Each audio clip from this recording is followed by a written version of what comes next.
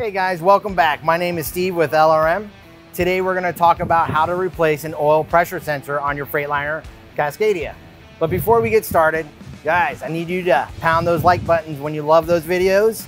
And also if you have any questions or concerns or you wanna know something, leave a comment at the bottom. And to save money and have content coming your way, guys, subscribe. All right, so today we're gonna talk about this Freightliner Cascadia, which I have right here about an oil pressure sensor, which is on the block. And you normally see it, you know, leaking up. So the good news is I do have a truck here and you're gonna see the sign of what it looks like.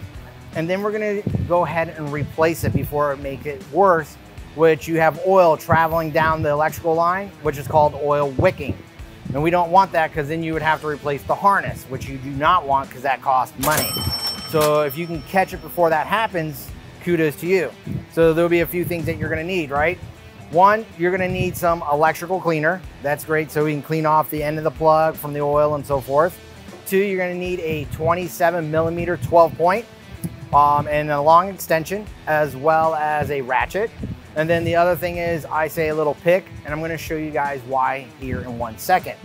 So those are the tools that we're gonna need. And then for safety reasons, guys, make sure that the motor is cool to the touch. You do not want it piping hot so you don't get a third degree burn or hurt yourself because that's no bueno.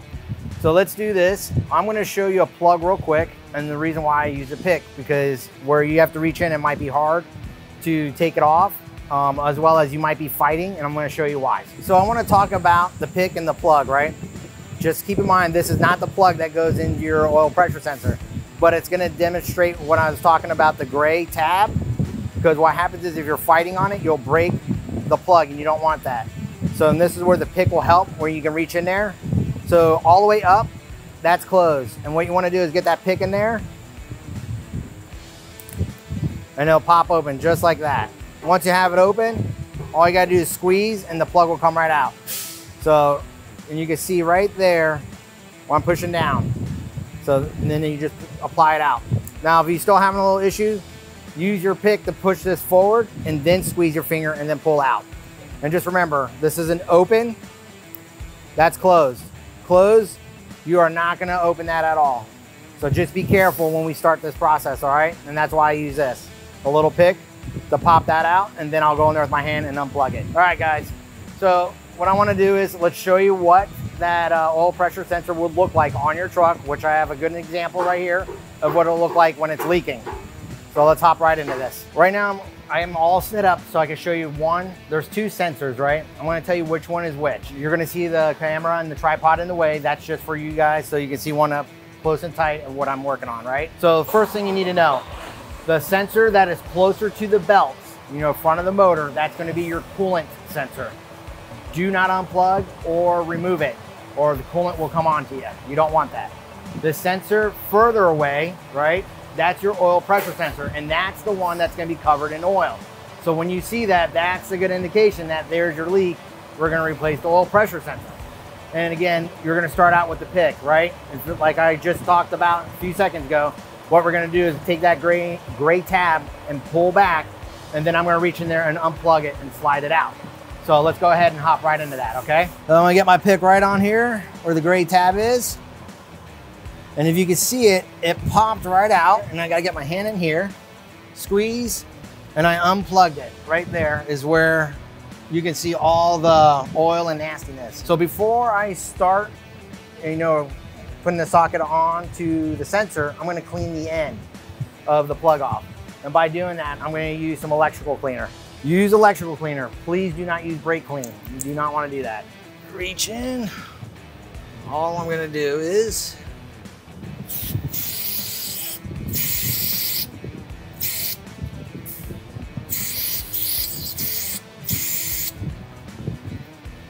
And then once I'm done, just knock that around. All right, and it will dry fast. By the time we get that sensor out, it's gonna be all dried up and we'll be good to go. Like I said, 27, let me make sure, yeah, 27 millimeter. Now mine has an open end. That's usually for wires. It doesn't matter. It could be a 27 uh, millimeter socket, 12 point. It could be completely enclosed, all right guys? Because what we're doing is, is we're gonna capture the sensor just like that. So you can get it out and install it, okay? So just keep that in mind. It doesn't matter if you don't have an open spot like mine. Then all I'm gonna do is slide that bad boy down there. And if I forgot to say anything, put it on an extension. Sometimes you might need more than one. Once you get it on there, slide it over, shouldn't be able to move it. And then I'm gonna take my ratchet. So if yours has it, you know, off and on, off, or if you can't remember, lefty loosey, righty tighty. Little pop, just like that. And at that, that point, I'll take my ratchet off, unscrew that bad boy. No, I'll just move that out of the way. Get my hand in there. All right, and there you go. Your nice oily looking oil pressure sensor. Now, when you guys do these, there's always a little sealing ring, right? That's this bad boy. Sometimes it stays on the block. Some people like to use the old one. I don't. You can use your pick to fish it out or put your finger on it and rub hard. Um, but I normally just put the pick on it and just move around the side. If it falls on the ground, it's fine. It's not a big deal considering you're replacing it. There it goes. So mine fell on the floor because I just don't care. All right, keep this in mind. When you buy the sensor, it does not come with the sealing ring, right? Just another thing that they want to charge you for. So just always remember when you buy your oil pressure sensor, make sure you get the sealing ring with it. All right, slide that bad boy in there and I'm gonna put it back just like I got it.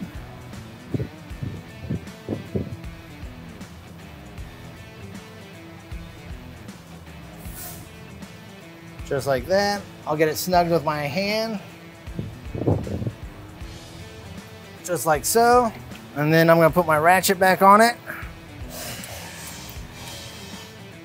And then we're gonna move from off to on. Once you got it finger tight, I would probably go to a quarter turn, just nice and snug. You don't need to break, you know, do good and tight or anything, just nice and snug is what you want. Now she's in there. Last but least will be the sensor tail. All right, just should be all nice and dry, which it looks like it is.